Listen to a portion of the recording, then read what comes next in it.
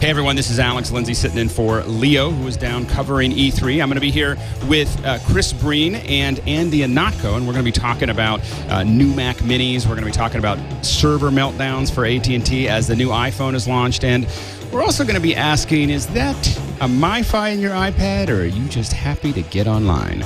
Coming up next here on Mac Break Weekly.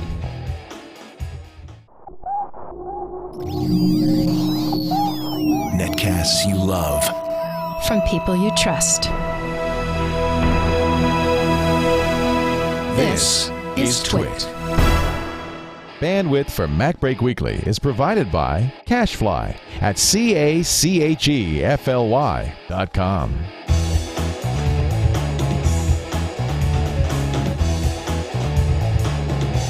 This is Mac Break Weekly, episode 199 for June 15th, 2010. Sorry, our servers are busy.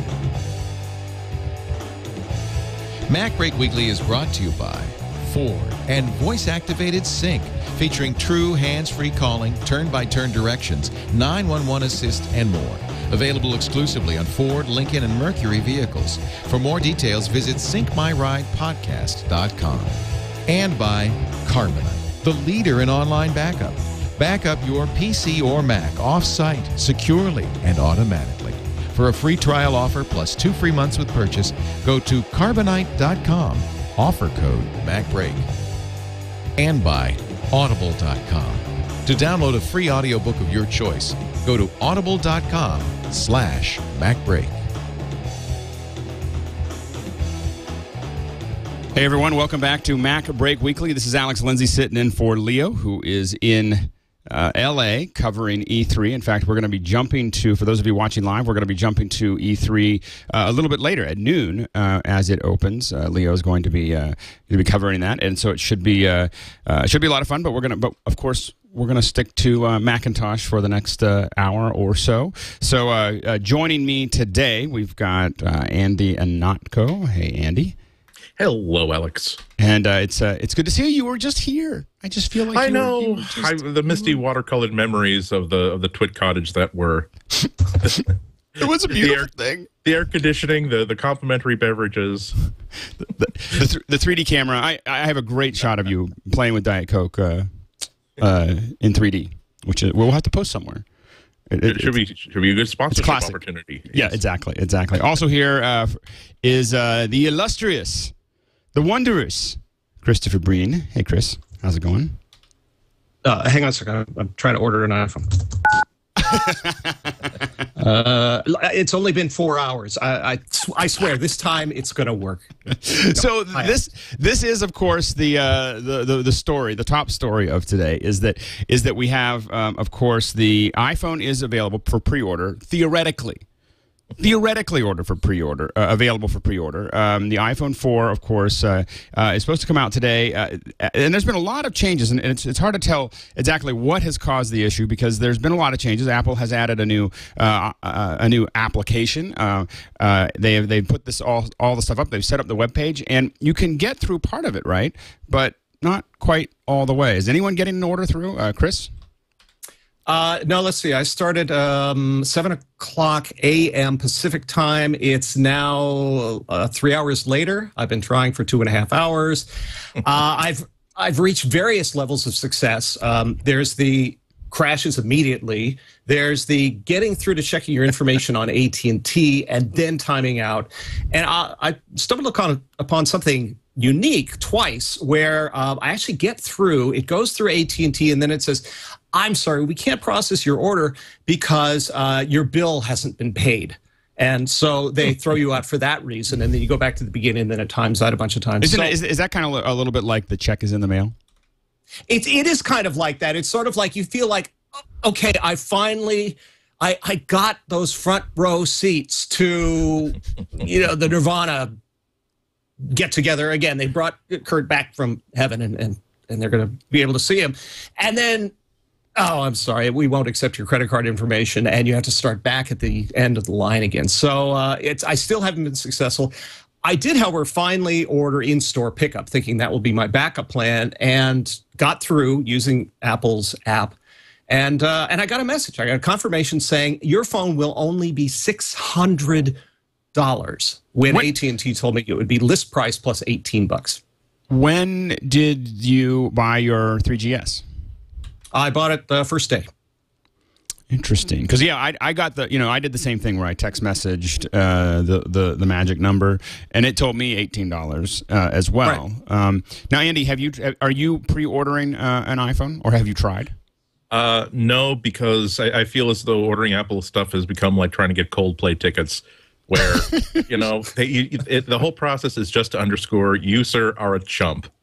There, there are people who are meant to get these. There are people who are meant to buy it from the people who got them and pay a 400% markup. I know that's not what's that's not what's happening here, but when when when a consumer item becomes so difficult to think to, to purchase that it becomes a little bit like a Candyland game, you know, where roll the dice one, two, three. Oh, your web browser had a DNS failure. Go back five spaces and go to the back of the the virtual queue again. Oh well, you got to the head of the line. Oh, but the white one is sold out. Go back, go back eight spaces and resubmit again. Uh, It, nah. it seems it, it, I was surprised to see the Apple Store uh, running slow. You know that was the thing that that, that, that seemed you know I, I mean the AT and T thing uh, you kind of expected it's AT and T but but the, the to have uh, the Apple Store actually just feeling like it was just barely making it through the process really surprised me this morning and of course I got about as far as to me every single time you know if I was patient I would just click it and I'd go back to doing whatever I was doing. I'd come back and I'd be on another page and I'd click on that and I'd do it. And I'd get to the point where uh, AT&T, you know, where I had to check AT&T to find out whether, you know, my, my phone number and my address. And then that was the end of the road, uh, you know, in, in all cases. Now, it turns out there's, there, there's reports that there people are actually lining up in Japan uh, for the, to get pre-orders. I mean, yeah. See, that's if if if this if this were the first working cell phone in history, then yes, it would be worth lining up for like that. Otherwise, I can wait. My dignity is worth about three and a half weeks. If if I have to like not get it first day and be able to have to wait a little bit, that's perfectly fine by me as a consumer. What now? What do you think is really driving the, the heavy demand? What part of the new iPhone is, are are people really that excited about to uh, to buy? I mean, is it the is it the retinal retinal display? Do you think that that is the the number one driving uh, factor of this new iPhone? Is it the front facing camera, Chris? Well, I think that there are a lot of features in here that people find attractive, but honestly, I think what may be driving a lot of the traffic today is the fact that Steve said AT&T is offering people generous terms to re-up. When prior to this, in the past, when we had a uh, we are going from the 3G to the 3GS, the people who purchased the 3G had to pay that penalty. That okay, I'm going to flip the phone in one year. It's going to be a lot more expensive, but I'm willing to do that. Those people like me who checked AT&T and found out no it's actually going to be list price plus 18 bucks. Of course i'm going to try to get it first day. So i think that there are a lot of people like me who believe steve with the generous terms. And actually i think the generous terms probably will happen. I think my little message about it being $600 is something that apple and i will have a long discussion about and i expect that this has been a mistake because I've heard from a couple of other people who got that same message and said, no, no, no, AT&T confirmed that this would be it. So I think the price is part of it, but certainly the front-facing phone looks very attractive, the faster processor, the screen. People I know who've actually laid hands on the thing say the screen is fabulous. So, So we don't I think, it's any it's any one thing. It's not any one thing. It's it's it's a mixture. Yeah, I think so. Yeah. Now here's the here's one uh, uh, question that I have that I haven't been able to quite get to the bottom of, which is, are uh, when we go for eighteen dollars rather than the more expensive, are we giving up our uh, unlimited um, subscription for bandwidth? Unlimited unlimited data. yeah. No, well, AT and T did say that if you have an existing data plan before the new plan goes into effect, you'll be grandfathered in. Uh, that even extends to iPad 3G owners who bought thought they're going to be buying just one month worth of uh, 3G service and then canceling it just to test it out, but now are feeling as though, yeah, I really would like to have unlimited data for for the life of the product, so maybe I will keep that. So it is the life of the product. So if you buy, if you do the eighteen dollar thing and and write a new subscription plan, you're still going to be on the unlimited if you started there. Oh, Because I'm that's the whole thing. Is that you're I'm sorry with the with the with the 4G. I, I believe from, from what I, from what I read of app- of AT and T's press release and the questions that I asked of AT and T afterward, the impression I got was that the data plan is attached to the account and not to the device. So so long as you keep paying X dollars per month for the data plan that you had before the switchover, if you upgrade your service to a new phone, again, you're basically transferring that existing SIM into the uh, into the uh, the 4G. Then I believe that it should go. It should continue through. If you were to buy a, a 4G as a second line, then I don't believe that you would still have unlimited data, but it would still uh, be attached to that original SIM and that original account. Okay, because that my my uh, my conspiracy theory mind um, was looking at that, going, well, they give us eighteen dollar upgrade because. Uh, they're we're gonna they're gonna rewrite our subscription. I mean that you know giving you that means that you're starting a new two year plan, not continuing the plan that we bought last year, and as a result, it won't be unlimited when we when we move forward. So, and, yeah. and I hadn't been able to find it, but it doesn't look like that's the case. So it looks like you're going to be able to continue. The theory is you're going to be able to continue unlimited, uh, at least in the midterm. I, I think I that's so. true. I, have read reports of that as well, but it may be that I'm reading Andy's reports and. And that's yeah. maybe he's the source was, for all this information, but I, I believe I've read this in a couple of different places that it is grandfathered in. Uh, yeah, there, there, are times when you don't even know if the person that you're talking to at AT&T or at the company truly understands the terms of the deal that their company is offering. So as a consumer, before I click any button to switch to uh, to upgrade to the 4G, believe me, that's that's the one time in three years I will be reading every single sentence of one of those. Just click through. I agree to these terms agreements. And I, and I, have to admit that, that for me, as I look at it, I, mean, I at first I was like, oh, I can't believe I'm giving, you know, the unlimited is going to go away, and if I get anything new, it's, it's not going to be unlimited. But I have to admit that most of my day, I look at really most of my day, it's Wi-Fi enabled. You know, most of my day is yeah. is um is something that I that I already. I mean, I don't run over my uh my limit on my my MiFi. Um, right. You know, well, and I, I, was, as a matter of fact, I was using my MiFi sort of as a baseline for my usage.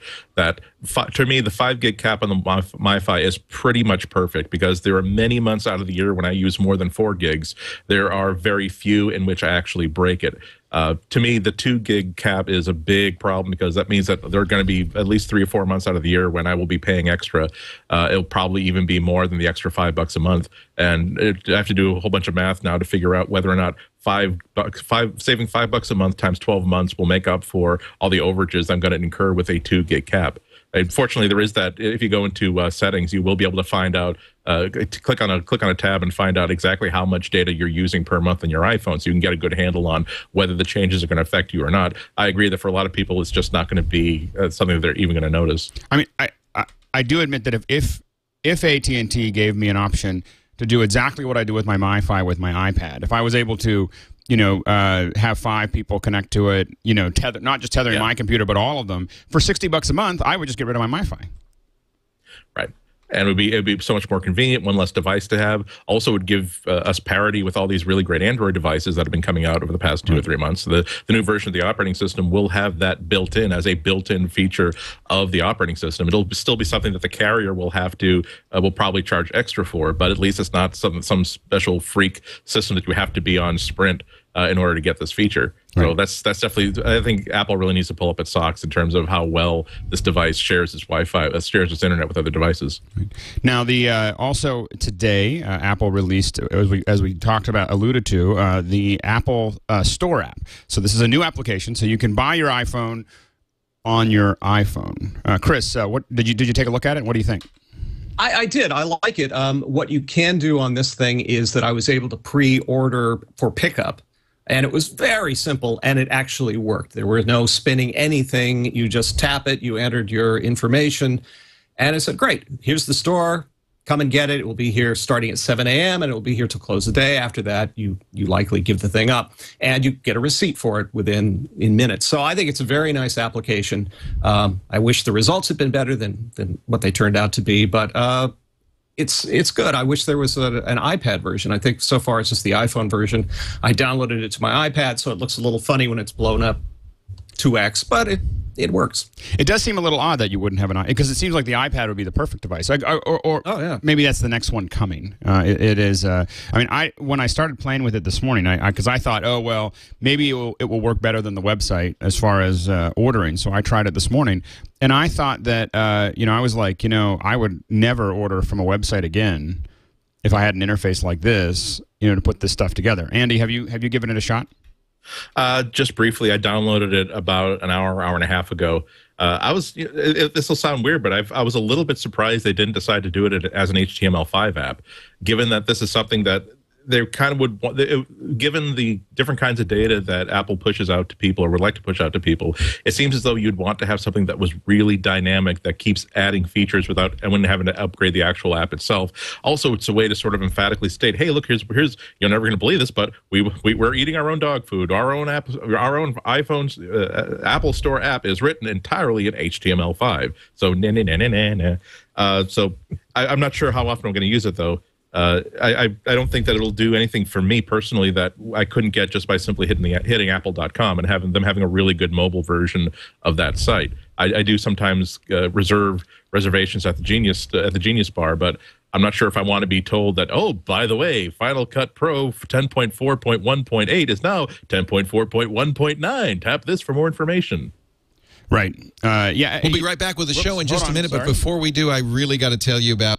Sorry. I. Uh, No, wait. Oh, I wanted to hear what he was going to tell us about. Oh, okay. Well, we'll play it then. If, we, if you want to see what, what he was going to talk about, Leo was. Uh, No, Alex no, no, no, in no. British Petroleum's pockets. He silenced Leo before he could tell the truth. Yes, yeah, I was like he was he was saying something scandalous. No, actually, it wasn't scandalous at all. In fact, we'll, we'll go ahead and play it for you. This is uh, uh, instead Leo, as you know, is is down in in, in the south uh, uh, covering E3, but we didn't want to leave the whole show without him, and uh, he has a couple things to say about uh, the Ford Sync. So let me uh, let me play this again here. So let uh, let's uh, uh, let me um, make sure that I've got everything working here, and. We'll be right back with the show in just a minute, but before we do, I really got to tell you about Ford and the Ford, amazing Ford Sync. I've been a Ford Sync owner now since last year, and I can't tell you how much I love it. In fact, anytime I try uh, the the uh, the GPS, the turn by turn directions, the hands free calling, and any other make, I go, what? How could how could I have how could I have used this? We haven't. I won't say the name, but our Toyota Highlander, the other car in the family, just doesn't cut it compared to this. Uh, I want you to go to syncmyridepodcast.com. You can find out more about the amazing Ford Sync. Syncmyridepodcast.com. Details are there, video. You can watch Sync in action. Let me give you an idea of some of the features. I mean, we're all making mobile phone calls these days in our car, and you know how dangerous that is. Ford Sync keeps your hands on the wheel, your eyes on the road while you're making these calls. You press the button on the steering wheel. The Sync says, you know, what do you want to do? You say phone. Then it says, okay, who do you want to call? You say by name who you want to call, or you can dial a number by number. Never look off the road. Never keep your hand get, get your hands off the wheel, and yet you can do everything that you'd want to do. For instance, I use it with Dial2Do, which is a great service, and I'm able to, you know, add stuff to the calendar, send email messages, and everything, all using the Ford Sync. It's just incredible. It's true hands-free calling. You also get turn-by-turn directions. You get 911 assist, so if something bad should happen, it will call 911 for you, send the GPS coordinates to them. Sync is available exclusively on Ford, Lincoln, and Mercury dealers. It works with most Bluetooth enabled phones. In fact, I have a number of phones all connected to my Sync, even my iPad connected to Sync, not for phone calls, but to listen to the audio. Um, you get personalized traffic alerts, music and podcast search on my iPad, on my iPhone, and most MP3 players, on my iPod. If uh, there are traffic alerts and if there's a problem with traffic, uh, it will reroute you with turn-by-turn directions. On on uh, some phones, audible text messages as well. They'll read you the text messages. Go to syncmyridepodcast.com and learn more. And the next time you're in the market for a car, this is, believe it or not, a reason to consider a Ford. There are lots of other great reasons. I love my Mustang, but Ford Sync makes it all the better. SyncMyRidePodcast.com or visit your Ford dealer and get them to demonstrate the fantastic Ford Sync. SyncMyRidePodcast.com. Thanks for letting me interrupt. Guys, now back to the show. So there we go. That that's what I that's what I ran into there, and uh, and I, I I have to admit that I like Leo's Mustang too. yeah, I, I, I, I rode in it uh, all the way from San Francisco to Petaluma, then from Petaluma to the airport last week. And what you don't know about the Twit Mustang is that it is just like being like in a, in a, in a car that's sponsored by you know like Coca Cola. The radio plays nothing but like Twit podcasts, like all to the ride, up and down. it's not like we change the station? No, no, no. Let's let's let's listen to this week in incandescent lighting. Okay. well, what's time in this week in recycling? Oh. Well, it's such a the, the the the Mustang is such this uh, it's this odd uh, mixture of muscle car and geek tool all at the same time. So Yes, it's a- it's like It- the perfect the perfect mix. is, it is indeed one sweet ride. Speaking of a I uh, long for the day when I can ride in that car. oh, you haven't been in the you haven't been in the Mustang. No, I, I haven't been up to the uh, to the cottage. I'm hoping to come up in September and get a little ride around the block. Very good. but, but you but, but, but very very very carefully because Dane was driving and it was it was like he had dad's car. It was it was it was like it was like when like Flounder like this is my this is my brother's car. If there's a scratch on it, he's gonna kill me. he only he only wipes it with a diaper. Yeah, exactly. So speaking speaking of uh, of new rides, uh, we uh, Apple has also quietly. It's funny, you know, this this continues this this conspiracy theory that Apple's not paying much attention to the to the hardware end of things. Um, when uh, they just kind of quietly, no no real announcements, it just kind of shows up in the lower corner. But there is a new Mac Mini. Uh, Chris, have you taken a look at this? I have. Uh, this is actually uh, uh, they. I think to demonstrate that they have kind of gotten a little sloppy about some of the details. This is actually should be the Apple TV two.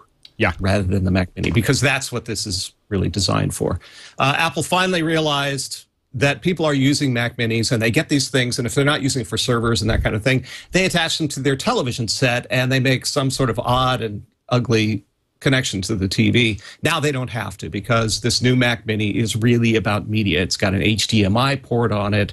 It's got the uh, disc player on it, which people have been wanting in an Apple TV. It also has display port. So if you don't want to do the straight HDMI connection, you can maybe do display port to HDMI. The hope is that audio goes to that uh, display port connection as well. And that you can get an adapter that supports that sort of thing. Well, and, and also, isn't isn't it um, HDMI now will allow all the copywritten material? So if you were going to do a streaming service, an HDMI connection would be uh, required, wouldn't it? You know, I've gone through here on um, the latest MacBook Pro, and I've been able to get copywritten material to go out through DisplayPort um, Okay. into an adapter that then goes to HDMI, and it all goes out through a single cable. Okay, okay. And uh, Andy, have you taken a look at it? Yeah, and I found out about it the way that most people did by incorrectly uh, t- by by uh, creating a new window in uh, in Safari, and it bring brought me to Apple's site by default. And oh, I guess there is something new this morning. Uh, I didn't get a press release. There was no phone call, no nothing. Uh, and you're absolutely right. It doesn't look like a Mac Mini. It looks like an Apple TV Plus, or it looks like the the, the, the hybrid between the two. The the it's got a lot of features. It really looks really looks great. But man, the price they upped the price. They they they essentially gave it all the oomph of a nine a thousand dollar MacBook. Same graphics processor, same internal processor, mostly the same capabilities. But the idea of now spending six hundred and ninety nine dollars on a Mac Mini, I'm wondering if Apple hasn't lost the thread. They're, they're, Well, the- I, I, I always I always thought that, the, the, the greatest feature of the Mac Mini has always been the price. The idea that you can lay down less than walk in with 500 bucks or less and walk out with a Mac.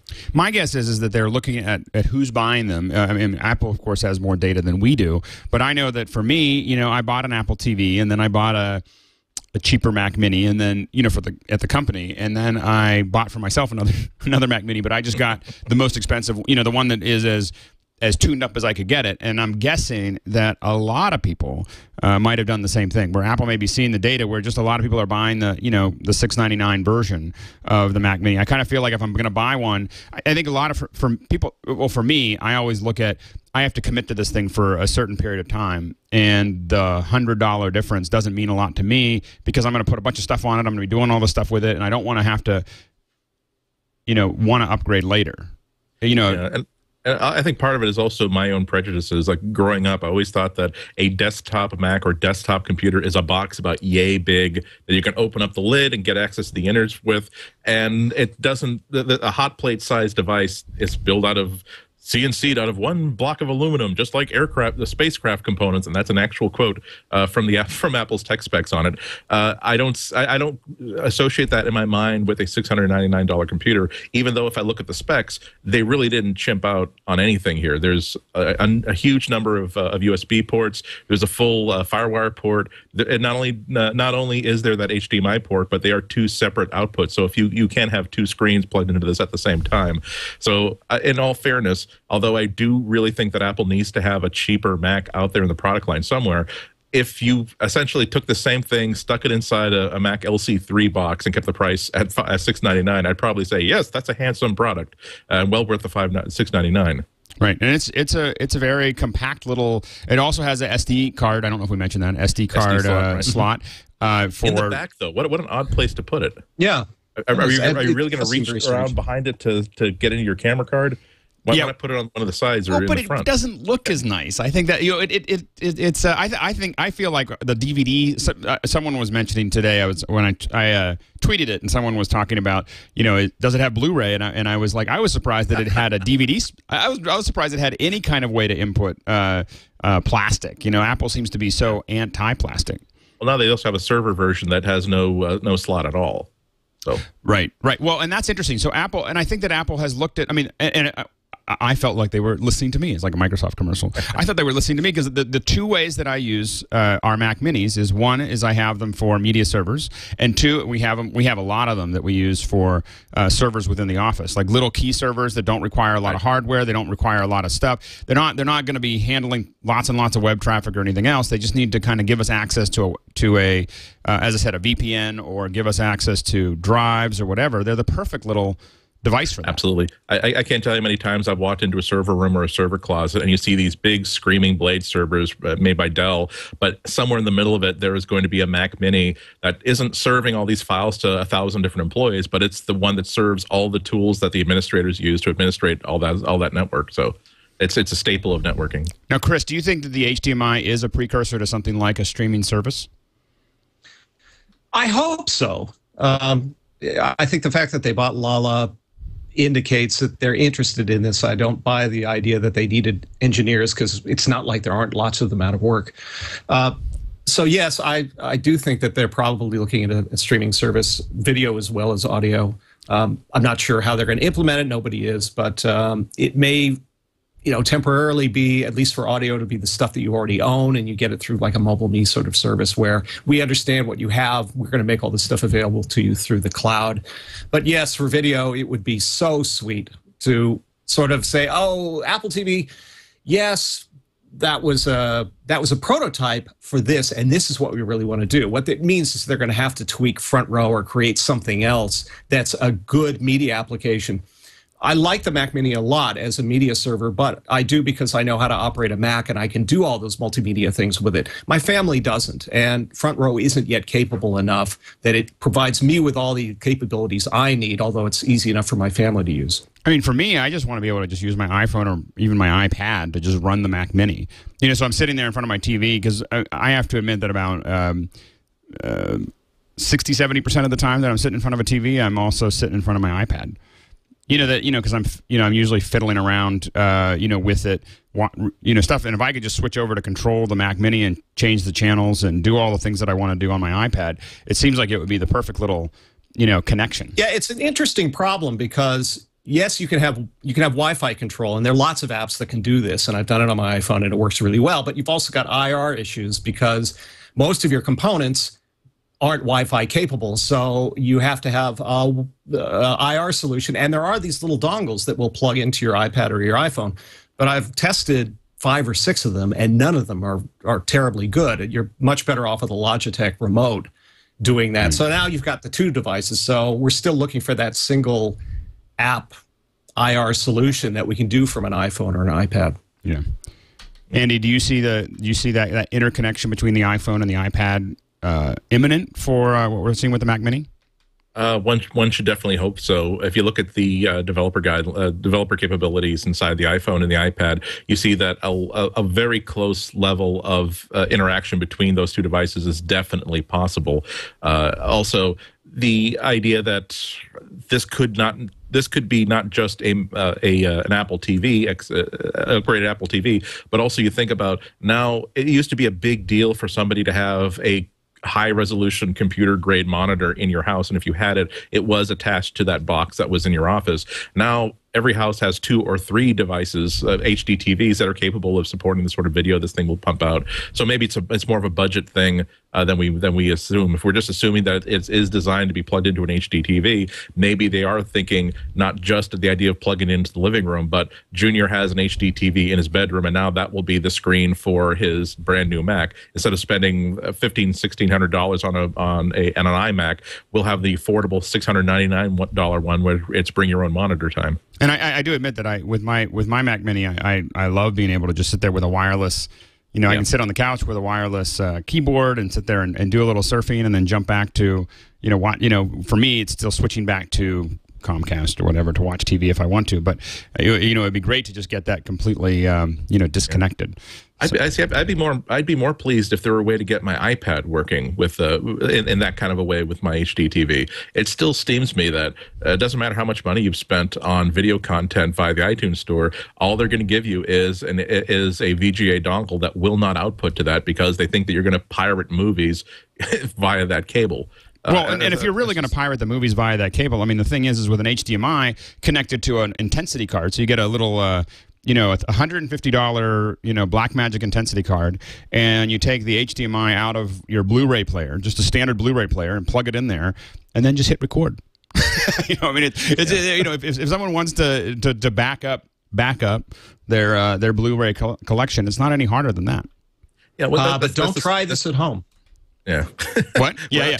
We would never suggest that you that? should actually do it. We're simply talking about the technology that is available to people with uh, lower moral standards than uh, than we would ever have. That, that's that's just, all right. But, but don't you hate this? The, it's the standard approach of saying we can, we are powerless to stop video piracy where it is actually happening, which is actually inside the in the duplicating facilities uh, where they're secured, but they're not that secure. They're going to wind up on bit. Really good copies wind up on BitTorrent like within days of it being sent out for remastering.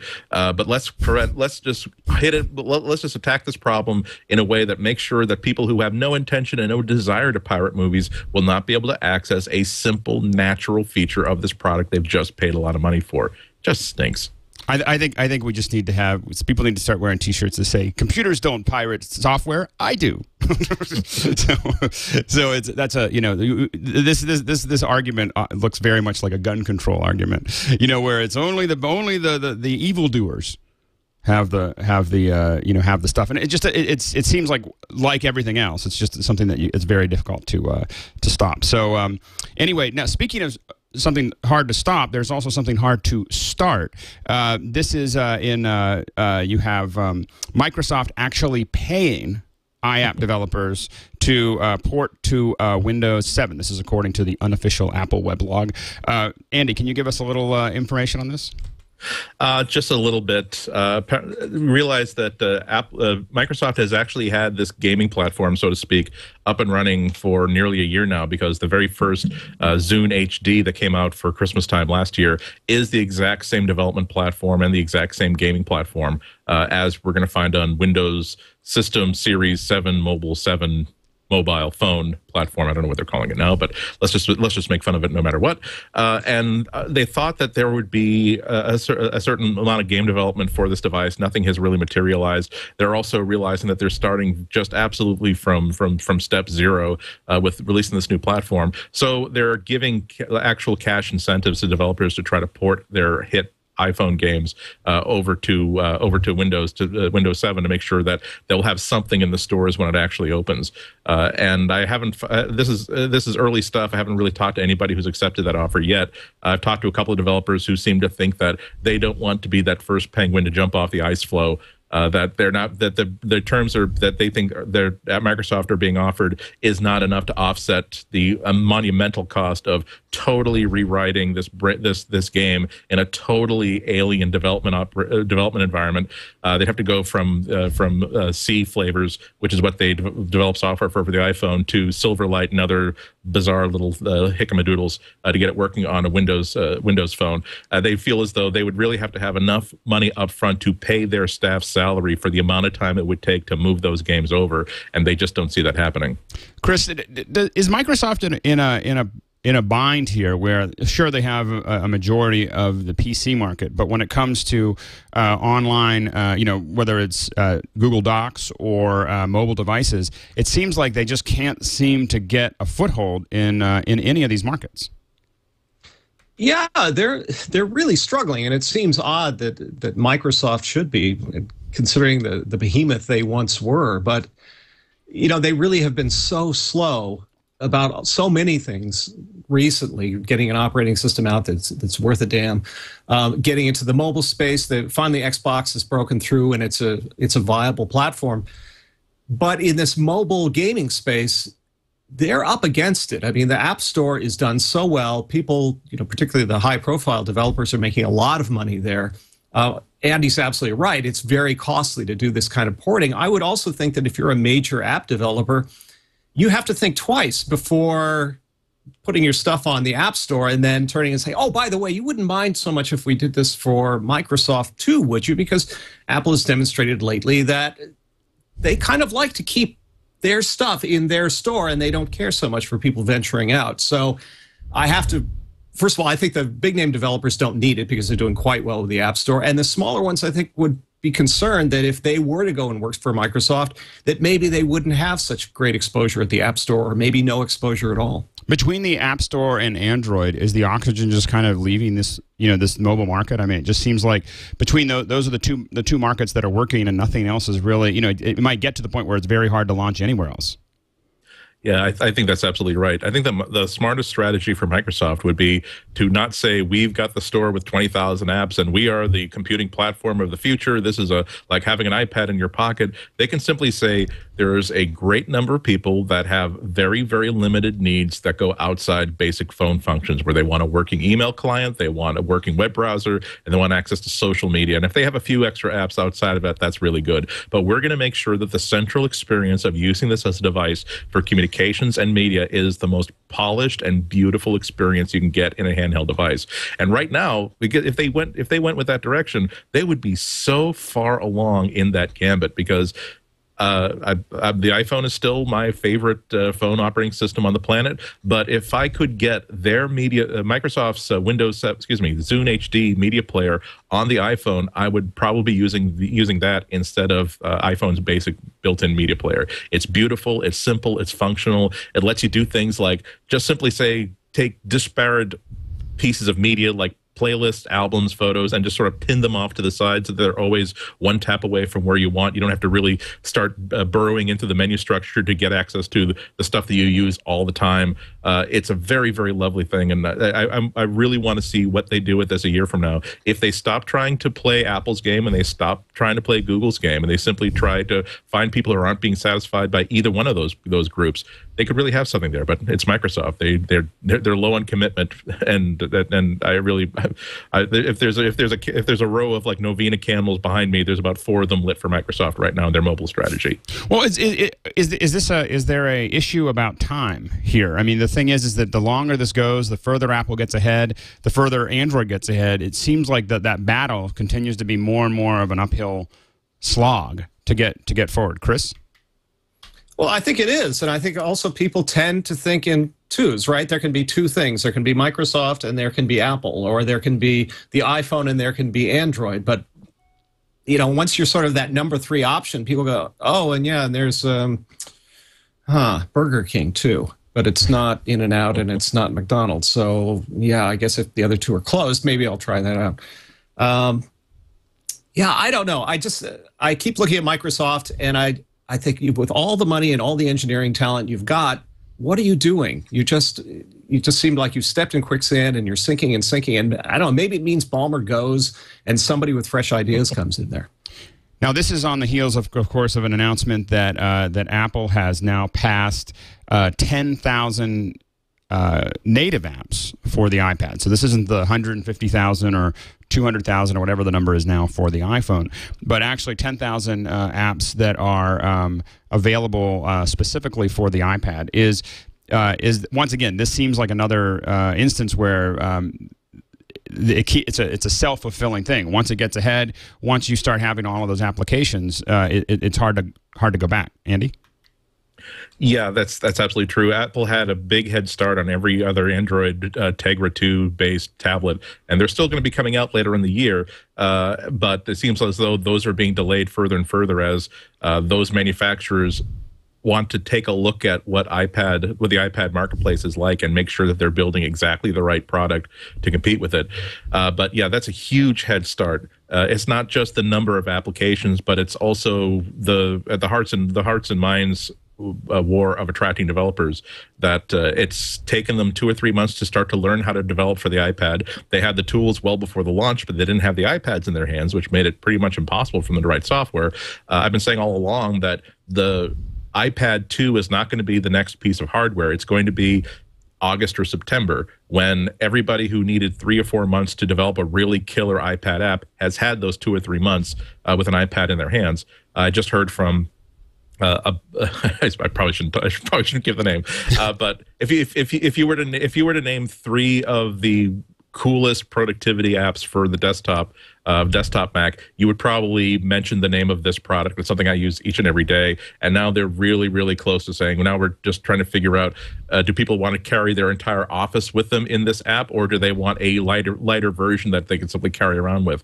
Those are the things we're going to start to see in, in August and September. So when these Tegra 2 based Android tablets come out and they undercut the price by 100 bucks, 150 bucks, 200 bucks, everyone's going to be looking around saying, well, where's the software for it? Where if I'm giving you $400 for this tablet, how can I carry around my documents with it? How can I actually get some work done with it? Uh, and where the, the the the application that's the central figure of my desktop experience, how do I get that data into this device? With the iPad, they'll say, well, you have four choices over there. With Android, they'll say, there's an open source word processor that there's a project that in Google uh, Google Code that they think it's really going to be available, or you can just buy the Android version and it'll scale up. Well, do we do we do we think that there's a an issue with? Uh, you- you're looking at not only a lot of the apps. I mean, probably by the end of the summer, we're probably going to see 30, 40, 50,000 apps that are available for the iPad as this thing really starts to ramp up. Uh, do we think that a lot of these uh, Android or, or all these other tablets, I mean, they really have to exist at $350 or less or be able to go head to head with every feature that the iPad has? Do you think that, that a lot of these delays are trying to find a margin at $350, Chris? Well, yeah, I think I just think it's a Herculean task for them to try to compete. Yes, they can come in for less money and hope that they can find a way to to produce a, a tablet that's worth a, a darn doing that. But I mean, the, people are going to compare immediately, and as as Andy says, when they if, when the apps aren't there, and the answer is, oh well, there's Google Docs, just do everything in a cloud because that's what this is about. Most people are going to say, well, nonsense. No, I, I see what the iPad costs. I can do this. and I've got by this time 30,000 apps to choose from. Why should I do this? And honestly, I just don't think price alone is going to do it. I if they come out with a $350 tablet, and if that's if that's the main selling feature, I think people are going to pungle up the extra 150 bucks and get an iPad instead. Well, the other thing is that there are uh, people that, that I've talked to, uh, unconnected uh, directly to Apple, uh, have said that you know that, that that as they look at all the pieces, they look at all the sections. Apple could probably sell an iPad for the, the lowest version of the iPad for uh, uh, three hundred or four hundred dollars and still make a margin. And so the thing is, is that in the fall, it seems like you know if Apple really wanted to suck the rest of the oxygen out of the system, you know, dropping the iPad and, and they've done this in the past, dropping the iPad by hundred dollars, I think makes it very you know just just leaves an area that I don't think anyone really wants to compete in. Well, they can always do that. They can use an iPad sh- or iPod Shuffle uh, strategy with this, and, and basically when Apple had the iPod, and they said, "Well, yes, but it's so much more expensive, and we've got we've got still this area at the bottom that we can occupy." Yeah, Apple, when they come out with iPad 2, could do what they've done with the iPhone 3GS and say, "Oh, now it's 99 bucks," and for the iPad, okay, so now it's 400 dollars. That's it. I mean, you're done. And so you might as well just go home. well, a, a lot of it is. It, I think there's. It's really curious to see the difference between the devices that I was seeing in January, each and every one of which looked almost exactly like an iPad in terms of size and shape. Uh, It seems as though one of the things that these competitors are experimenting with is is there an inconvenience factor to the size? And would it be possible to make one that's about the size of a kind of a standard kindle or paperback book something that you could conceivably fit into a back pocket uh, that people will respond to? Uh, and i think that's where we're going to find $300 devices and that's going to it's going to continue to kill the kindle uh, because kindle always had uh, uh, inexpensive uh, inexpensive price and high portability back on its side. When you start to see a $300 $350 android device that's the exact same size screen only it's a color screen screen and it also has Wi-Fi, that's going to be a big deal. The second area is the ability to simply say, what if we are the one that gives you an SD card slot and we will give you a USB port and we will not have to wait for third party Bluetooth devices to come in in order to give us the simple ability to move a file in and off the pad. Is that something people like? Well, and, yeah, the, the, the, horse is pulling away. And, and I know that for, for us, you know, we're looking at, you know, we're playing around with a lot of development right now in the office. And, and one of the things that, that we're dealing with is the the incredible effort that it would take to get Apple to approve a hardware connection to the uh, to the iPad. You know, where you know that's not something you know, people to talk about getting approved put to put software on the uh, you know in the App Store.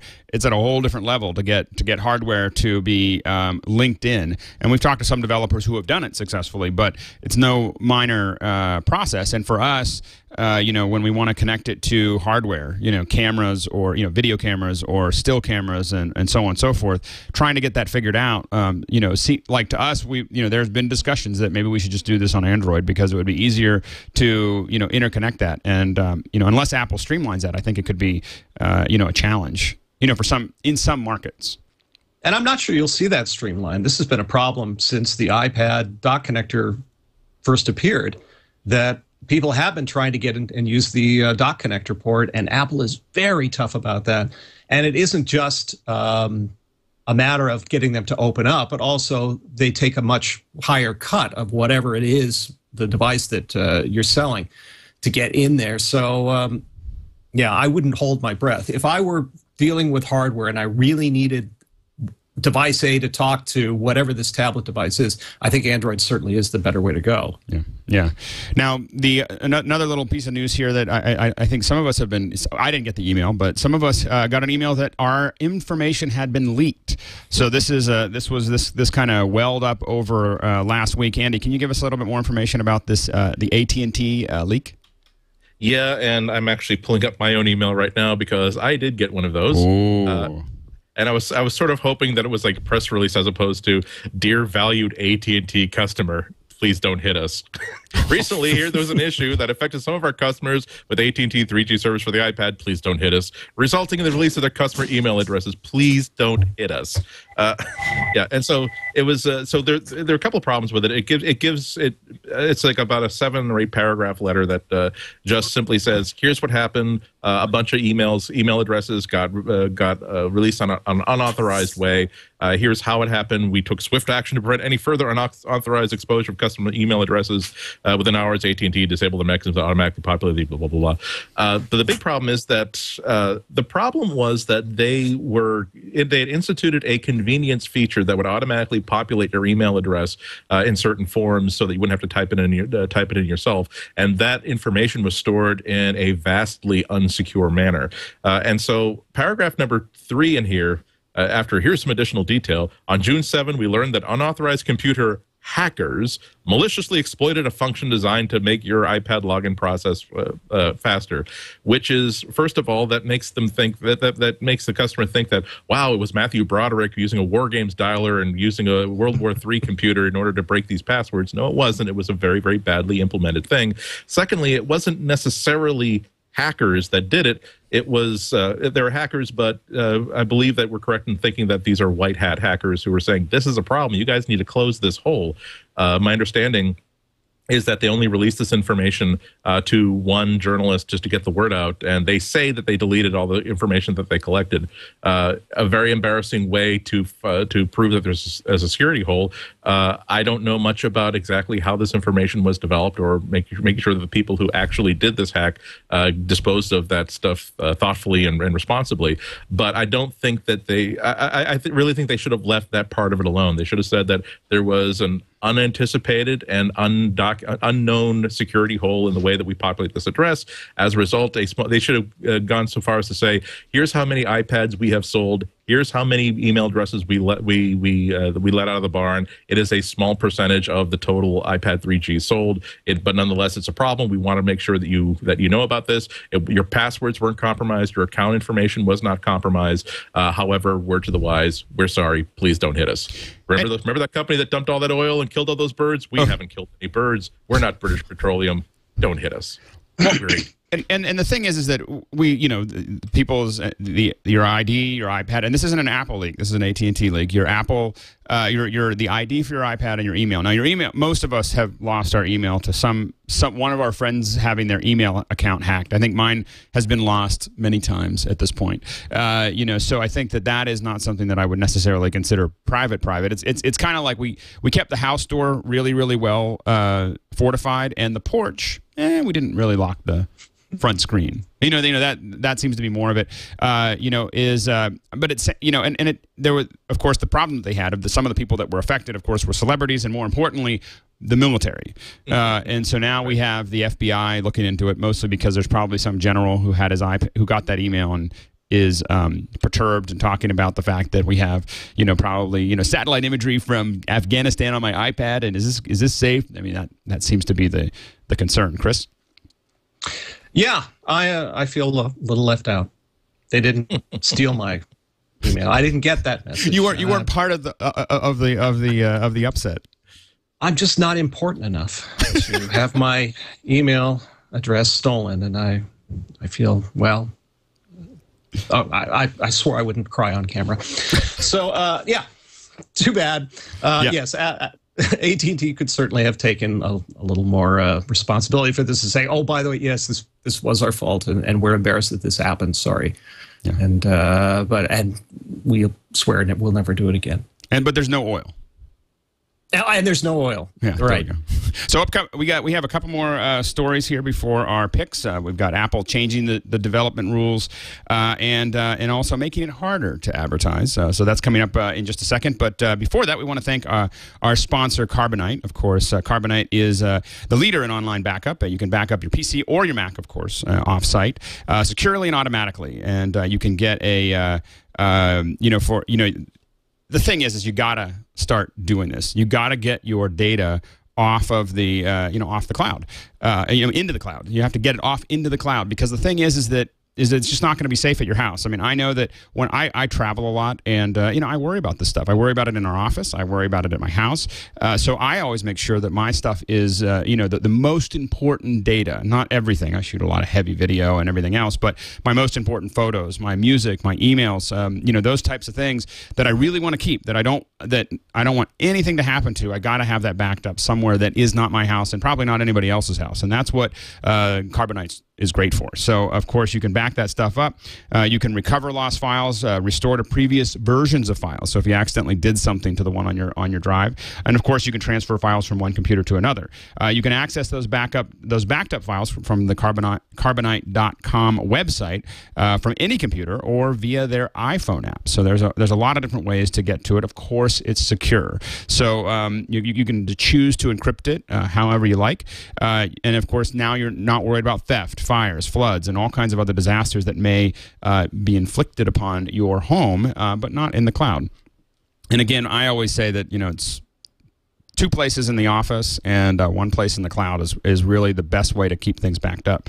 Uh, you know, you can get unlimited backup, so as much as you want there for five dollars a month. And uh, and rem- remember that when you use the uh, coupon code TWIT, uh, you can. Uh, and I think actually I, I don't think that that's right. I think that we have MacBreak. So you want to use your coupon code MacBreak, um, and MacBreak is the uh, if you use that, you're going to get two months for free. So uh, it's five dollars a month, only five dollars a month. Um, but you can get two months for free uh, with uh, if you use the coupon code MacBreak. So definitely uh, check that out. And uh, you, you gotta really be thinking about. You know, I'm warning you.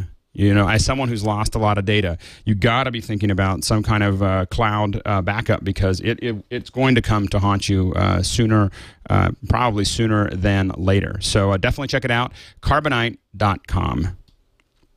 And uh, now we have our our next uh, uh, our next little uh, story here. Apple changing the iPad the iApp development. So Apple, of course, said that We're not going to, you know, you can't use any third party uh, tools to uh, develop for the iPhone or iPad and to put it into the iStore. And now it looks like they might have, um, you know, given just a little bit. Chris?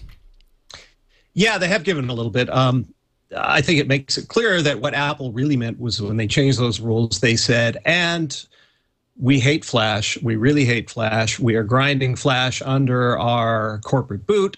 No Flash. And again, please, no Flash or Adobe tools to develop anything having to do with Flash.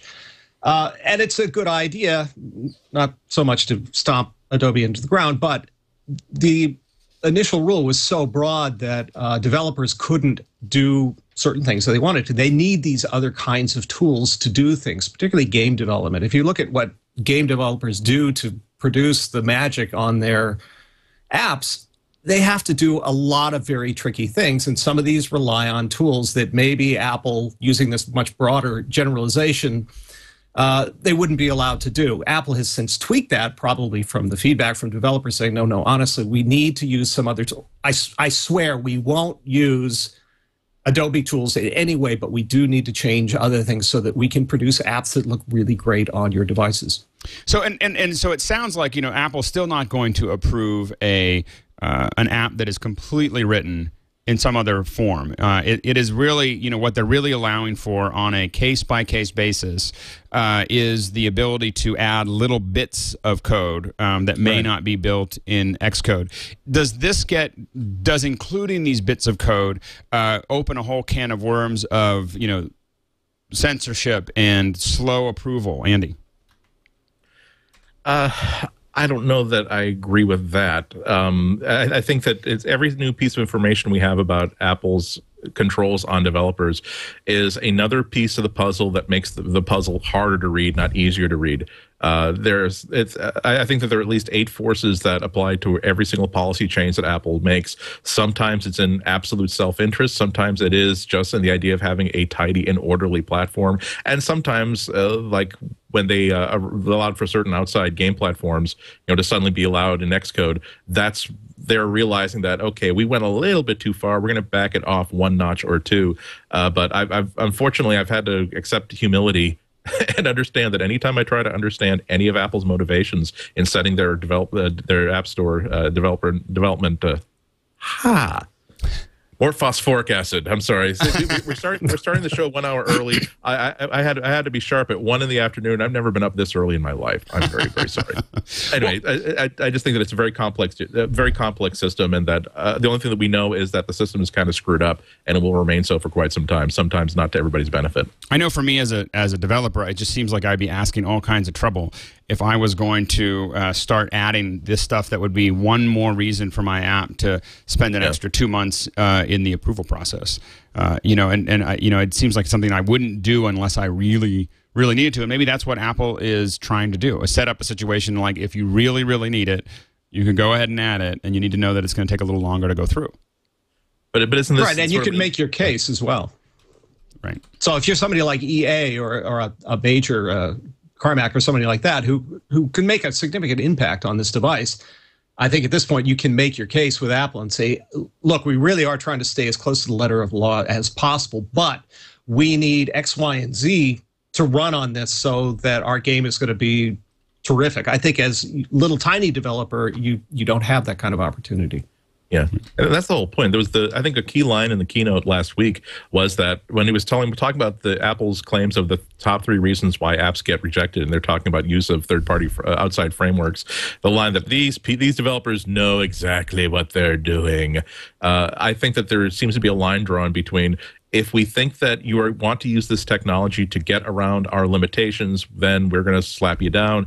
If you want, if you're trying to use this technology because it is absolutely necessary for the development of this app, uh, if it's going to narrow the, the the scope of the apps the app market instead of expand it, then we are amenable to saying, okay, we're going to look the other way on this one because clearly the letter of the law is out of sync with the spirit of the law.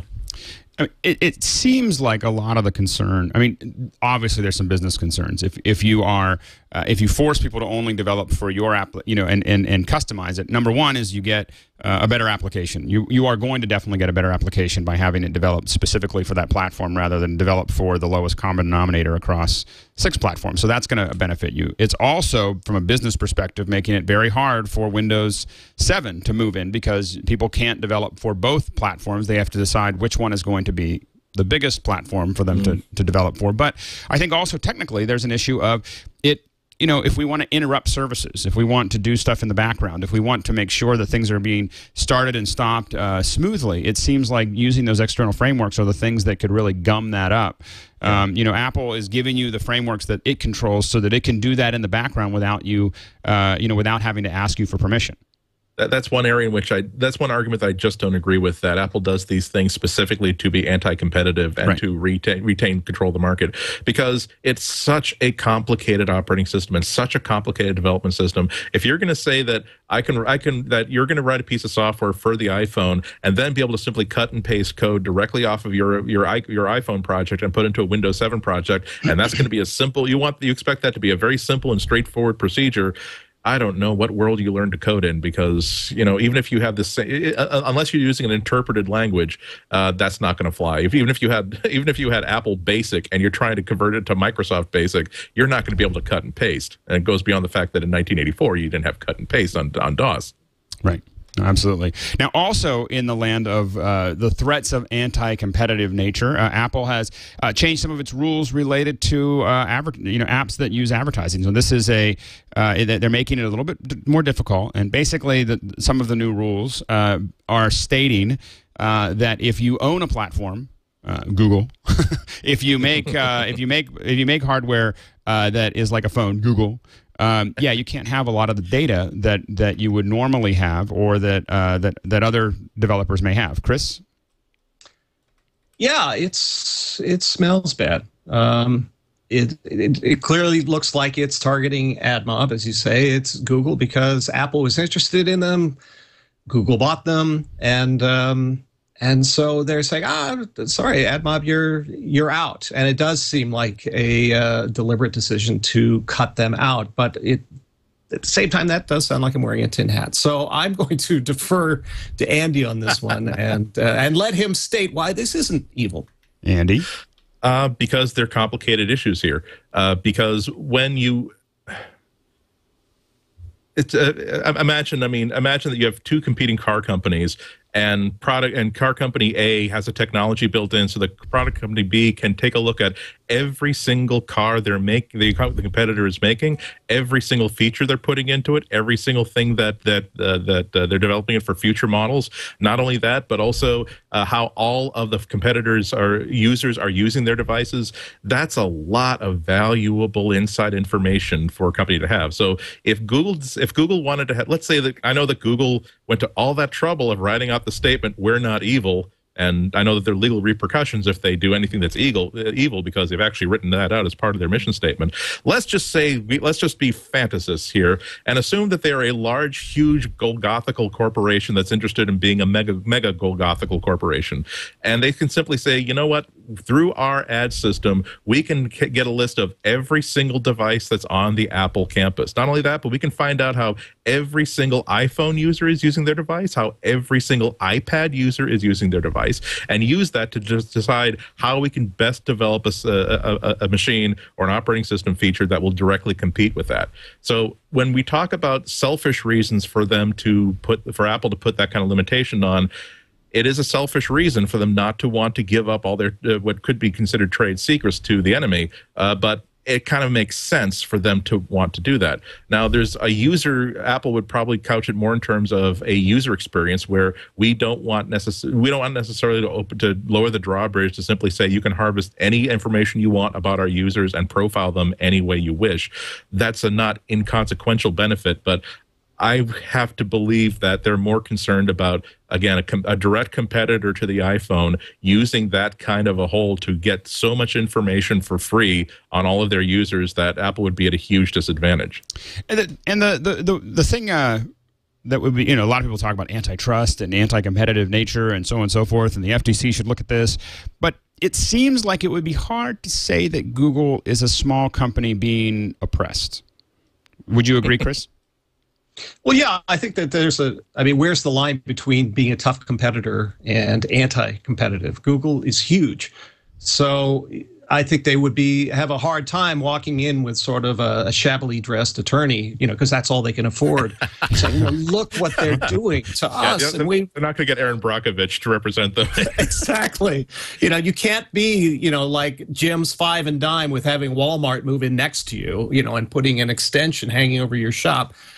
It's a big company, and they're, you know, we have big people on each side of this one. So I, I think it's going to be a tough case to make that that Apple is is shutting out poor little Google.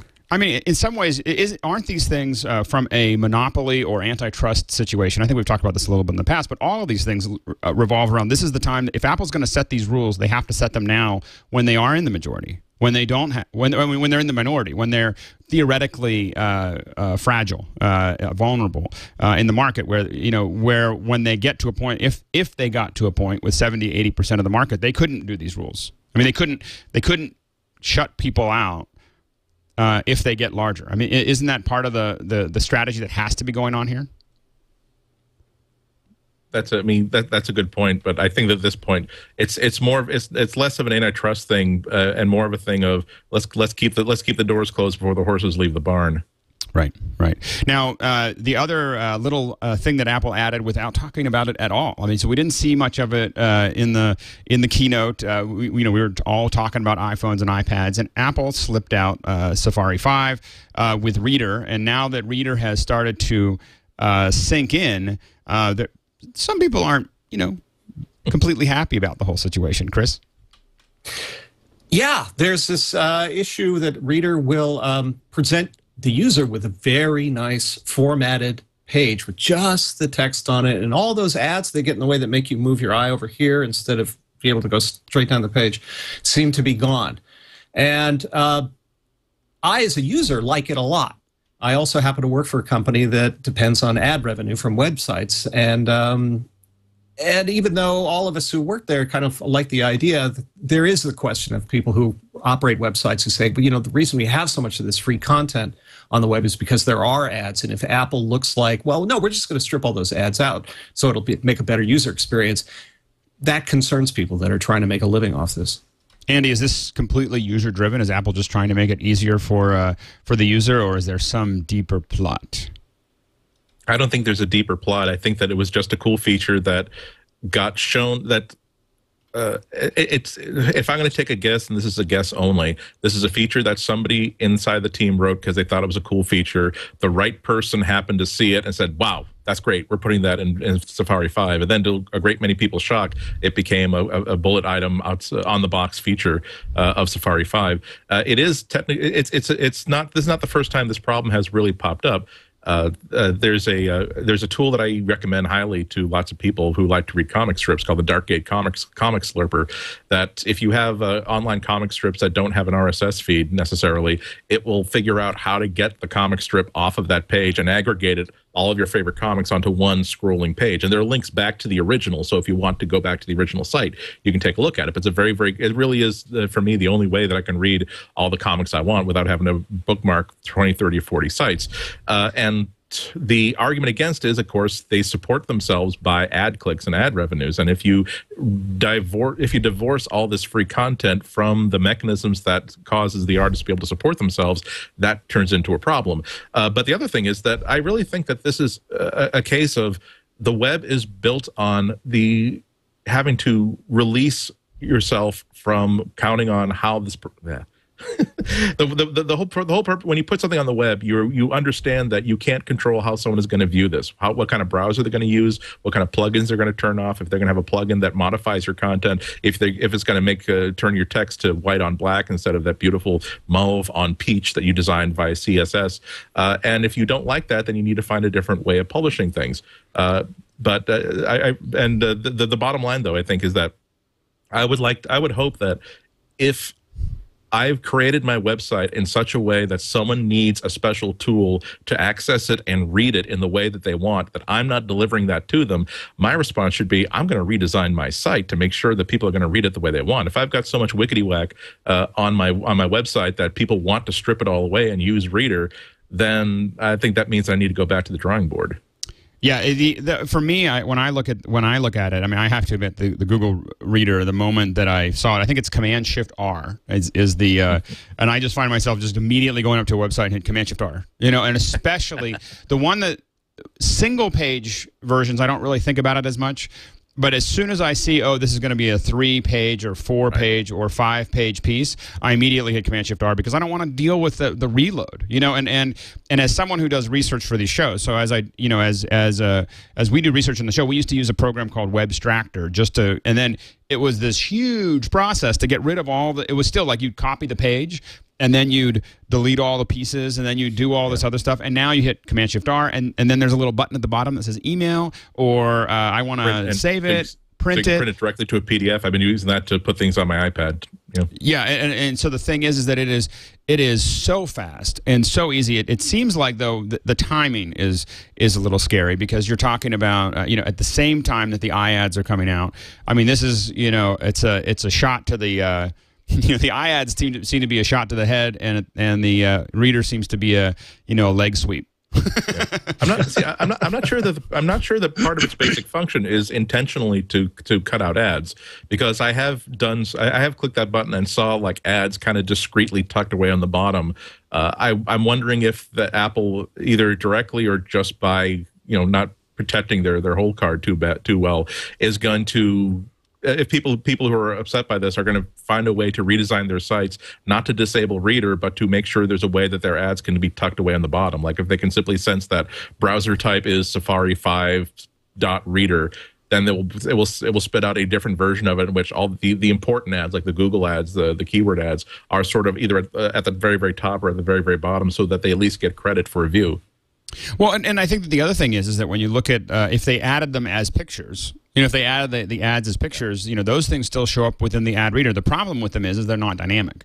So what it's doing is it's stripping out, uh, you know, a lot of the dynamic tools uh, that that they had uh, to make that actually work. So it's no uh, more no no more leprechauns barfing out uh, dollar signs for my home refin- refinance ad. Ah, well, I'll somehow I'll struggle to get along. Yeah, Chris, do you think this is this is the end of web publishing? No, no, I don't think so. I think, as Andy says, people will will adapt to this somehow, and uh, you know, find a way we'll to deliver fewer content. fewer albums behind you. Hmm? week after week, we'll see fewer and fewer albums behind you as you sell off your collection to buy food for your children. exactly right. I, see, I'm, I'm just showing the rare ones now because I know those are the ones that, that are going to go first. Now, uh, last uh, last but not least, we had a uh, uh, there was uh, Adobe. It was one of the things we saw. Wired, you know, the Wired magazine uh, came out and sold a lot of copies on its first couple days, and, and, it came out the week before last. But I think we were we, were, we weren't talking about it all last week. Uh, but the you know, so Adobe now has also released. Uh, some of the tools. Now, they haven't released them to the public. They're really being released to publishers and so on and so forth to allow them to build their their uh, their documents in uh, in inside of InDesign and then simply publish to the iPad.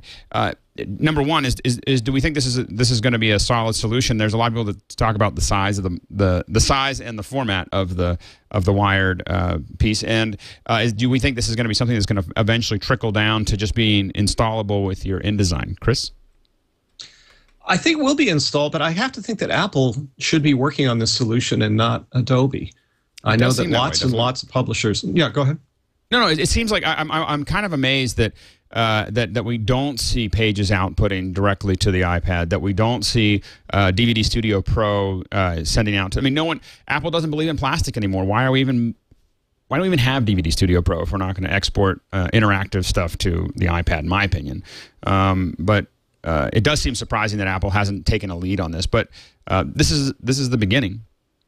Well, there's certainly a market for it. I, yeah. I know that when this was first announced, every author I knew, publishing company, uh, agent was talking about having direct control, being able to get stuff into the iBook store and get stuff on the iPad directly.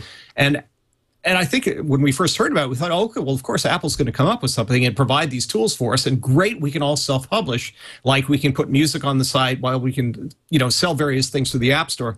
And yet they've been silent on this, basically. You know, say, well, yeah, we support EPUB. Well, that's that's not the answer. We want interactive stuff. Well, and you're really going to send us to Adobe to do this? I don't I don't think that's the answer. Well, and, so, and, and, and I talked to I talked to I was on a uh, I was you know sitting next to a, a, person who does a lot of publishing for cooking books and everything else, and they said you know from their perspective, if you have a very pictorial driven uh, book that has a lot of stuff that you really want to have precise formatting, that the ebook the EPUB formats you know, doing the stuff through iBooks just isn't, you know, that's that's not a solution for them. That's not a solution that they want. They want to be able to design their own uh, solutions, and right now, you know, everyone's just writing their own apps, you know, to make that happen, and it's it's ugly. And I think that this is, you know, this is a real. It's not an issue yet, but it seems like it's going to be becoming a building issue if Apple doesn't, you know, take a hold of the process.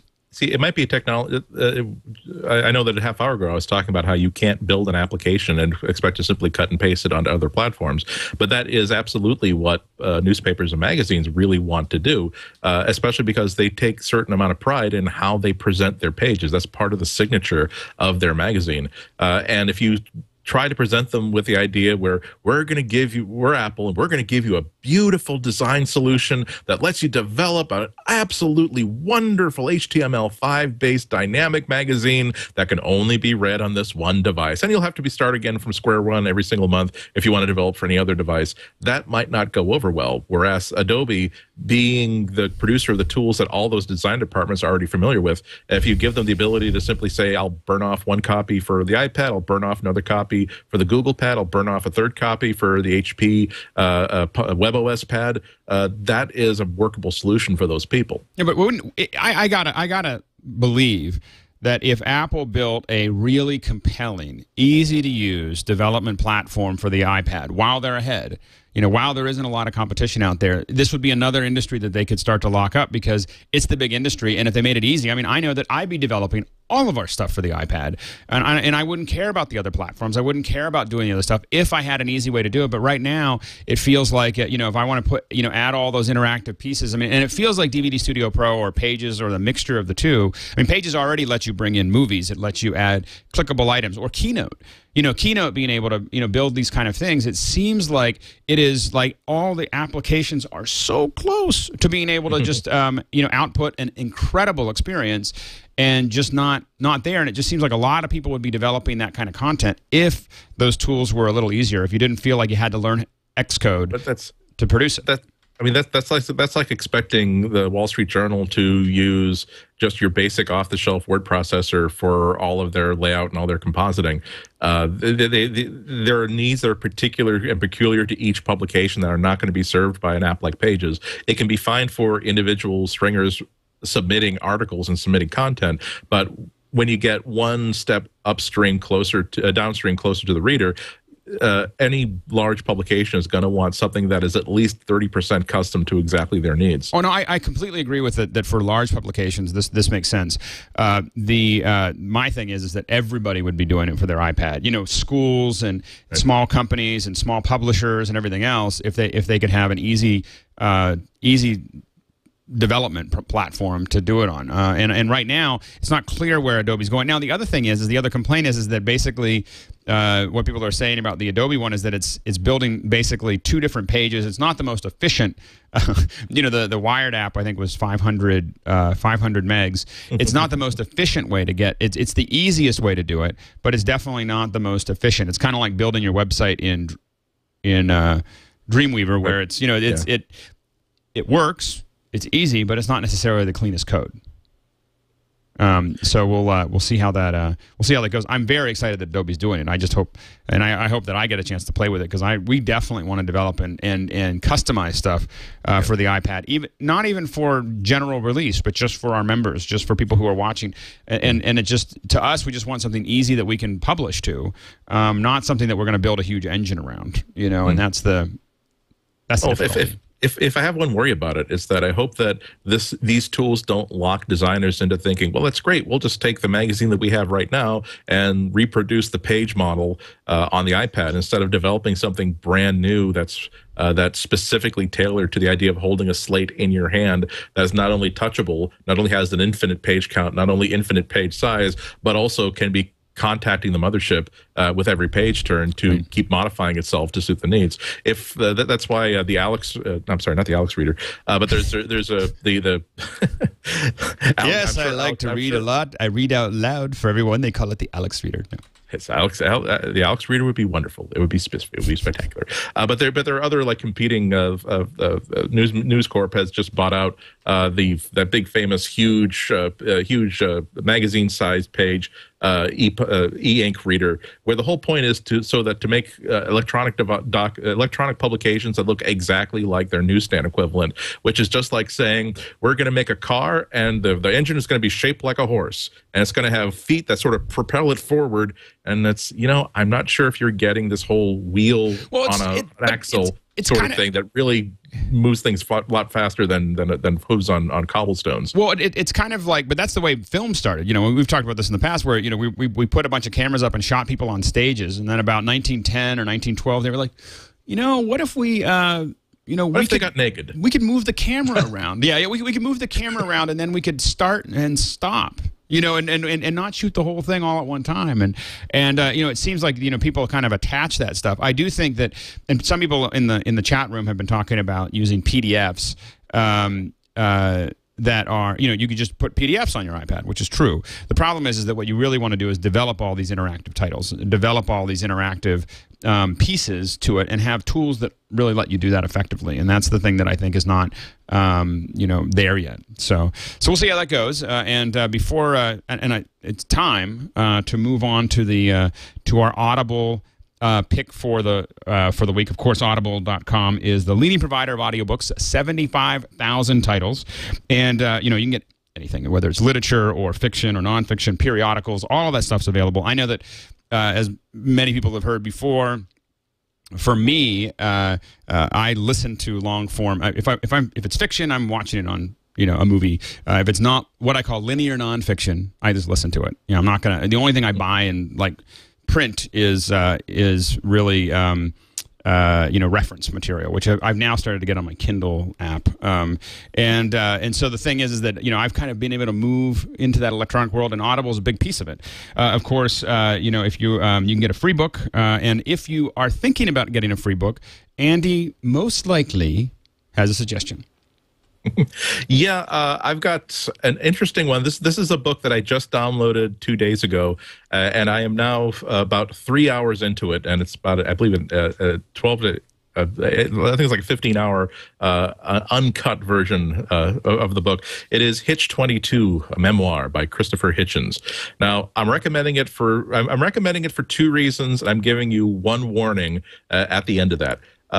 It's everything it's it's one of the strong entries i'm looking for in an audiobook because it is a memoir. It's about this this kind of cantankerous politico who's had lots of very very nicely worded opinions and nicely formed opinions uh, and he's essentially telling stories from his life and some of them are a little bit self-serving but it's always really really interesting.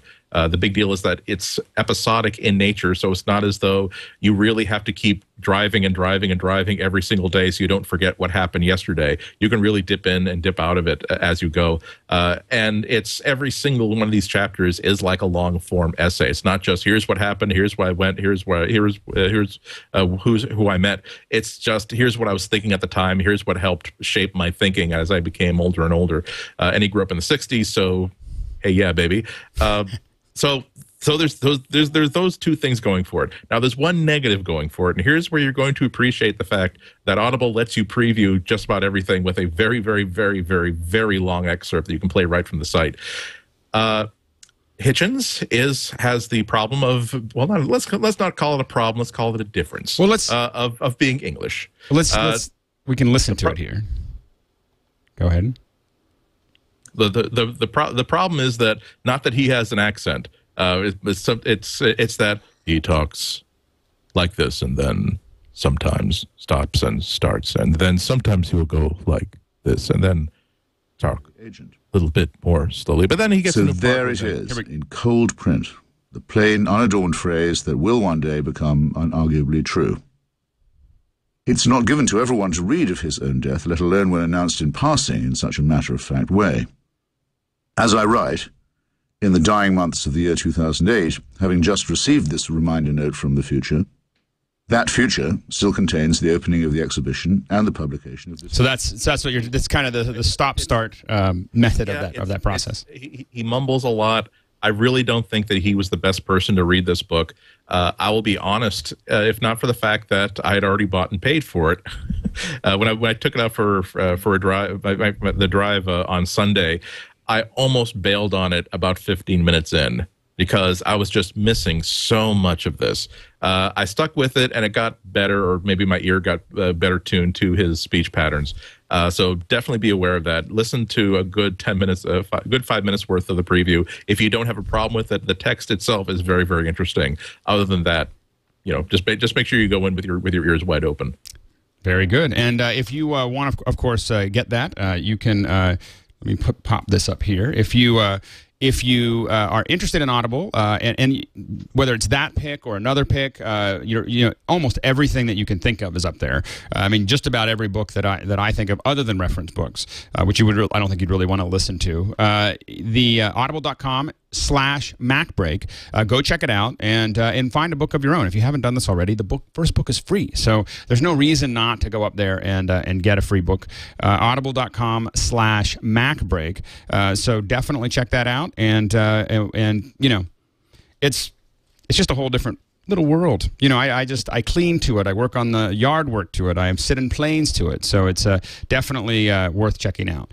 And uh, so now, without further ado, we're going to move to the picks of the week. Uh, Chris, do you have a pick for us? I do. Uh, my pre-pick is, given my experience today, Verizon for anything and everything. Wait, by, by the way, did you see? Wait, before, before we move forward to the picks of the week, did you? This was something that someone brought up in the in the uh, chat room. Did you see the MiFi hack for the for the iPad? So, no, someone has figured out how to take their MiFi, disassemble it, and install it into their iPad so that they can actually have a MiFi in their iPad, and it actually It's- works. very nice. Um, So you can do this that. is over. I'm I'm all over that. Yeah, I, now, do, do, do you think that like inside Apple, like you know, someone has actually t- printed this out, pasted it onto a big like board, and just shoved it in someone's face, saying, "Now do you understand that we have a problem?"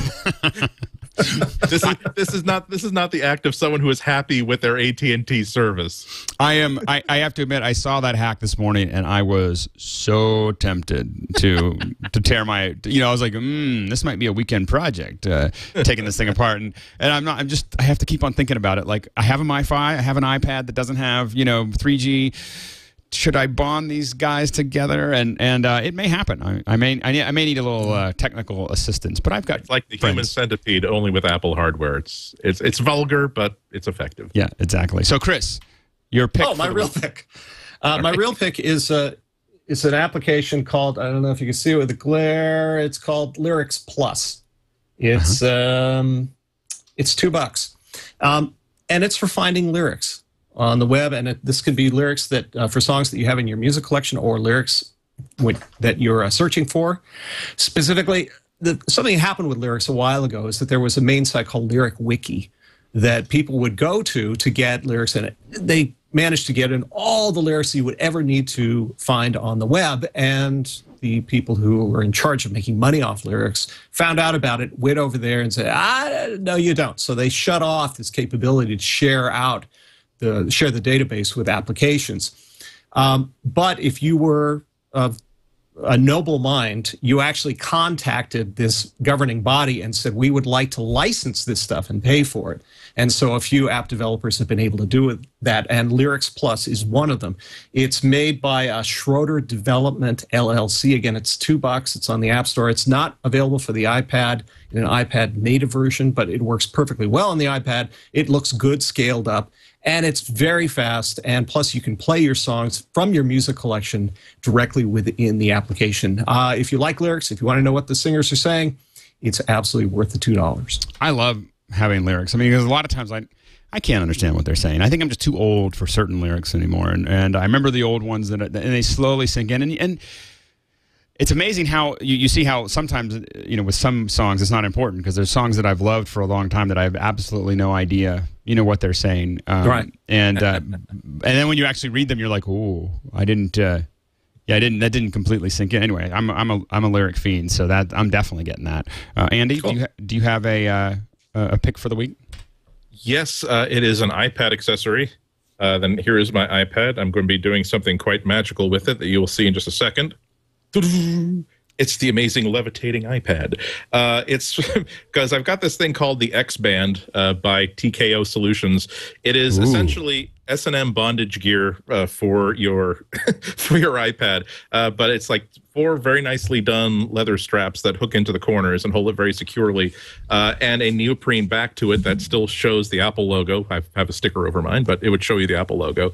Uh, so those of you who are worried, like if if you tend to use it in like standing up and walking around sort of uh, places, uh, it holds it really sticks it to your hand like very very nicely.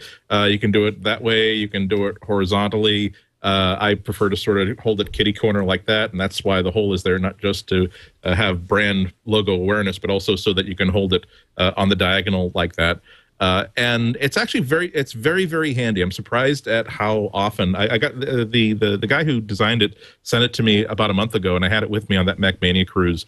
Uh, and I'm I was surprised to find how many how often I was actually using it uh, because I, I do like to have a certain tactile control uh, over the iPad, and this sort of prevented me from worrying about it being dropped. But one of the nicest features of it, and this uh, it avoids one of the problems that I tend to have with a lot of different uh, iPad cases and solutions, is that when you take it off, I mean, it's just cloth. So that you can just simply, you know, sort of fold it up and stick it in a pocket. So when you're not using it, it just doesn't take up any space whatsoever, uh, nor does it screw up uh, the nice lines of your iPad. Uh, and for all that, it is 19.99, which doesn't seem like a whole lot of money to me. Uh, and uh, the guy's just getting started. Uh, he just got the. We- I I was going to recommend this a couple weeks ago, but he's just only now gotten the his website up and going. Uh, and uh, you can get it at uh, tko-solutions.com. But as in as in as as in the last three letters of my name, I just noticed. Uh, so tko-solutions.com. And But they- they're it jumps straight to cowbell. Oh, there we go. Hold on. It was when you when you type it in. Here's the uh, uh, here is the uh, picture of the the website here. The uh, when you type it in here, it, up, if you look at the the the URL, it says uh, tksolutions.com slash cowbell.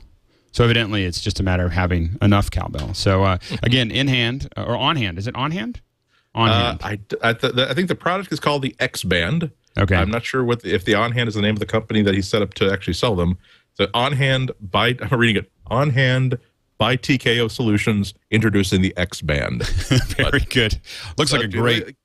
Go ahead. Again, uh, I'm just, yeah, I was just about to say. I mean, it's it's handier than you than you think it might be. Uh, but if, if if if you're the sort of person who's kind of active with their iPad, uh, it's the sort of thing that if you just have that in your pocket or in your bag, you're probably going to have that on. Uh, and work using it a lot. I've, I've been using it a lot more. I, I was I thought it was a cool little thing that I just wanted to try out, and I thought, oh well, that'll be fun for a day, and I'll probably never use it again, or I'll give it away. But no, actually, I've been using it quite regularly. I actually have a perfect pairing, a perfect pairing for your uh, your uh, little attachment there, uh, because that that looks like the perfect thing to go with my pick, which is a it is a, you know this is a little bit of a um, uh, this is a film geek app, um, and this is here here it is. Uh, it's a little blown out when you actually see it, but this is called Movie Slate, and uh, I saw this. I think we covered it a little bit at in. Um, at Macworld, and you can't see some of the pieces here. I think uh, it's a little. Uh, if I turn it just a little bit there, you can kind of see the. Uh, it was a little overexposed on the camera, but uh, what you have here is a smart slate. Now, I need to uh, qualify something for people. Uh, a smart slate is something that costs a lot of money. Uh, these are fifteen hundred dollars each, and uh, a company called Denecke makes the ones that are probably the most popular. And uh, when I saw this at NAB, I was like, "Oh, they should be so frightened because this is really to me this is the future of where uh, apps are going which is really taking over things that used to be complex code that was really like leds i mean they were really low quality you, you're like i can't believe i'm paying $1400 for these little spinning leds and here you have something that does uh, just about everything that a slate does really everything that a slate does and a lot more. Uh, the date, you can just say, oh, I just want that to be today. I don't have to write any of that stuff in. It keeps track of your you know roles, scenes. You don't have to rem- you know remember a lot of that stuff. Uh, you know you can type the stuff in. I, I, I can't tell you how many times I've been on a set and you can't read anything that someone and a lot of times the people that you pick you know this isn't a very technical job you know doing the slate and a lot of times the people you pick are people with good handwriting you know, it's like i don't we don't know how good they are but we we can read whatever they wrote on here in a rush and so um and and i think that this is the the first step i mean i think that uh you know the next step of this is being able to drive this data from a remote location. You know having this inter, you know intersecting with the script supervisor that's sitting in the back able to just have the slate. No one has to write anything on the slate. Right now you do. But i think that you know where i think this could be going is something like that in a, in a more integrated pipeline. The um, uh, it is but with that little handle that you were just showing with the little case it would be perfect because you could sit there and just hold it out uh, right right in front. Now you can also of course you know you can hit there's the and which is, uh, is is kind of a cool little thing for the for the actual slating. Now, what I really wish that someone would build is a little case for this that you could actually, uh, you know, that you could actually have the the the, the physical slate uh, and simply have all the have this kind of connect into it uh, and become part of that because there are things that you still want to be able to do with it. But it's a it's a it's not the cheapest app. It's twenty dollars. Um, there is a fifty dollar in-app purchase that really makes this thing pretty sick, which is that it um, through the headphone jack, you can actually have jam sync it to a uh, to a world uh, time code generator. So I know for some people who are watching, you don't know what a world time code generator is, but being able to jam sync your iPad to one is. Um, yeah, it's cool. So, uh, so anyway, uh, you know, that's, that's, that's all I have to say from a from a uh, kind of a geek uh, perspective. It's a pretty slick piece. Uh, if you were if you were thinking of a, of a smart slate, most of us don't need. Uh, most of us, this is all you would need, and for seventy dollars, we pay fifty dollars every time we rent a Denecke slate. So, you know, the idea for seventy dollars of being able to just just have one that doesn't catch fire, like the two of the ones that we had. I don't know why, but they they they um, you know um, they started smoking and uh, made us a little scared. So, um, uh, and, and and I think for for a lot of people, that's not going to be something that is, uh, uh, you know, you're gonna. You, it's fine to do whatever you're doing now, but if you're really doing this stuff and you need a smart slate and you want something that isn't going to cost fourteen hundred dollars and you already have an iPad, uh, it's called Movie Slate, and uh, you know, with Andy's little handle there the two of them paired together. Look at that. See, we hanging on to it. That is like the perfect. Look Rope at this. Look speed. at this.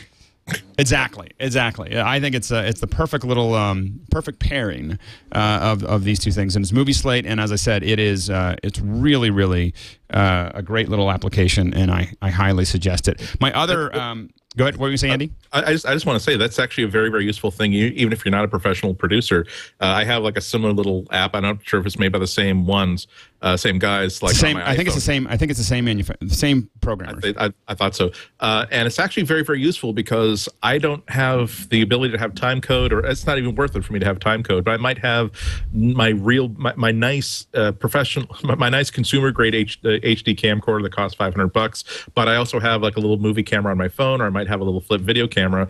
Uh, and if when you get into Final Cut, it's very, very easy to do like a master shot and then, uh, then, a, then a two shot at the same time if you just point them both, all point them both at this, do this, and oop, did I do it right?